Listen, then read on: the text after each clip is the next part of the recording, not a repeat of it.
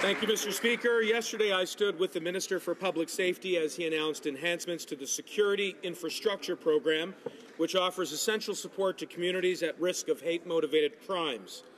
Recent offenses involving the homes of faith leaders, places of worship, and other incidents in public serve as a stark reminder that we cannot take for granted our hard fought for fundamental freedoms.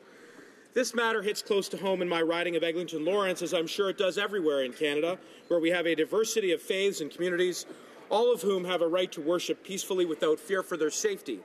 Mr. Speaker, I assure you that our government will continue to make sure that security infrastructure projects are implemented so that all Canadians can practice their religion freely and safely.